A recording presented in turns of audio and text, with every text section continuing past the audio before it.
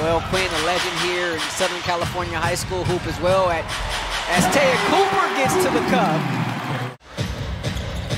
Wheeler. Cooper a wide open look at three, and she gets it. Te'a Cooper knocking down the long range bucket. Seattle within 11. Cooper will take the three. Te'a Cooper. Coop, the elbow jumper, good. Te'a Cooper feeling it tonight. A close friend of mine says part of putting your footprint on the organization is making sure you put some furniture in the building as Coop gets the scoop there.